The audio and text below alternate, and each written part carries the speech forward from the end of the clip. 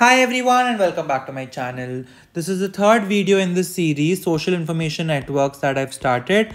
So in this, the previous videos, we've discussed how uh, weighted graphs are different from non-weighted graphs or unweighted graphs. And we've discussed how directed and undirected graphs are different. Uh, we've discussed how the edge lists can be uh, written down and how we can make the adjacency matrices and which which which will further be used in mathematical calculations in the future. So all this we've discussed in the last two videos. So in today's video as i have mentioned we will be discussing ego networks and whole networks. Now what is an ego network? Or let's start with a whole network.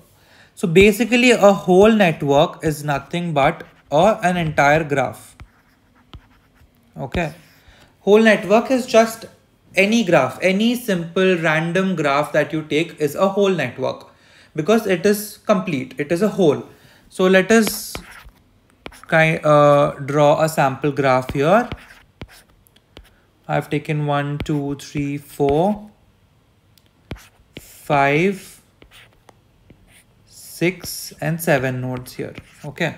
So I've taken seven nodes here and this is my whole network because uh, all the nodes of my network are present here and it is a whole. So therefore it is a whole and that's why I'm calling it a whole network. Now what is an ego network? From the name itself, you may understand that an ego network is basically, uh, an ego network is basically what? It is the entire network from one node's perspective.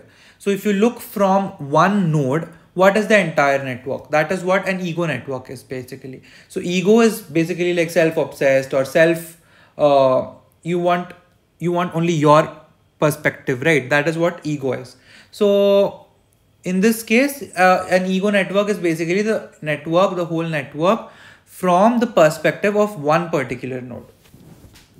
So what will let's look at the ego network of any one of the nodes so let us look at the ego network of node 3. This is node 3, right?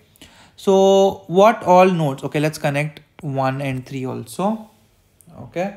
So now ego network of node 3 will be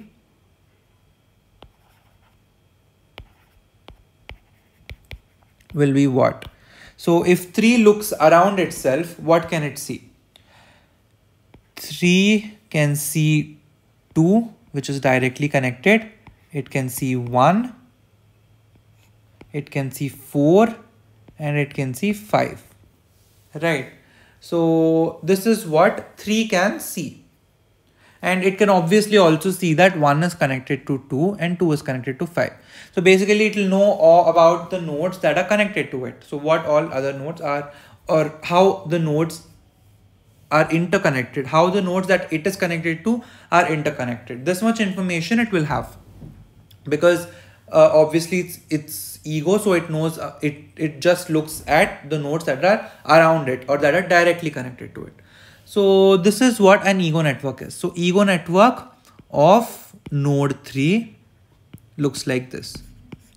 It is basically the and the network or the whole network from 3's perspective. So 3 is connected to 1, so it can see 1, 3 is connected to 2, 3 is connected to 5, and 3 is connected to 4. And also 1 is connected to 2 and 2 is connected to 5, so that is also visible to 3. Okay, so or that is also considered by 3. So that is why we are uh, calling it an ego network and this is the ego network of node 3. Now, let us look at another important aspect or another important use case of ego network. So now an, another important thing basically is that we need to look at the ego network but without the ego node. So what is the use of this? The use is that we will see how the network or the ego network of 3 behaves or is uh, acts when 3 itself or the ego itself is removed or the ego is not there. So let's say removing the ego ego is basically the node with which or the node with respect to whom we are making the network. So looking at that, what would that be? We have R1. We do not have 3, so there's nothing there. So 1 is connected to 2, 2 is connected to 5, and 4 is alone. Right. So based on this, what we get to know is if you remove 3, 4 becomes entirely disconnected from 1, 2 and 5. Right. So, so for 4, it being connected to 3 might be very important for it to be uh, well connected. Similarly, we also understand that 2 can connect it connect to 1 and 5 even without 3 they do not need the help of 3 right. So basically this is the ego network of 3 ego network of 3 without the ego right so Usually in real life, we will be considering ego networks only more in order to analyze or understand how these, uh, how the graph or how the social networks work.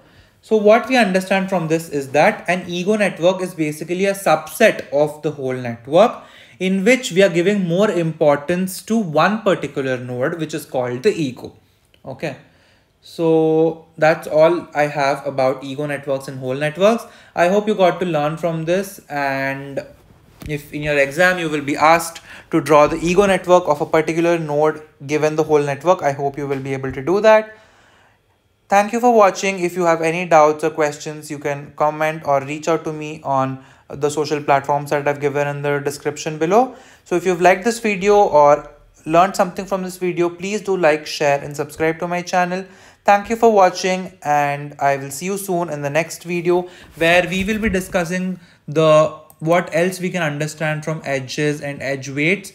We will understand the different properties of graphs that is uh, the degree centralities, how you are measuring the nodes in a graph, the degree centralities, the betweenness centralities, and all these we will understand as we move forward in the next videos. Okay, so thank you for watching and I'll see you soon.